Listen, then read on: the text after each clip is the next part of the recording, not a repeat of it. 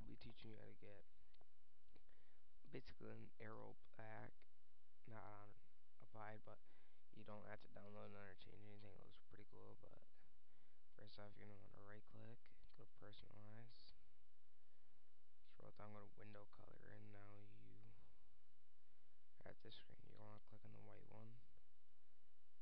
Keep this minimized. You don't want it to be, unless you don't want it to be down to show color mixer and scroll all the way down.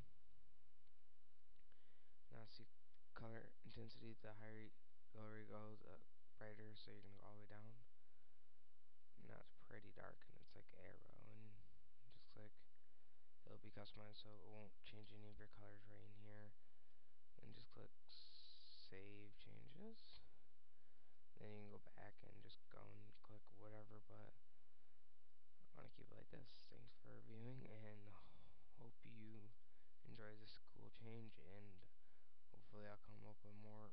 things and more fun things. Before I go, I'm going to do a um, cool little thing if I can get to work. Yeah, you're going to want to hold the Windows button, which is right here. It's right here. Um,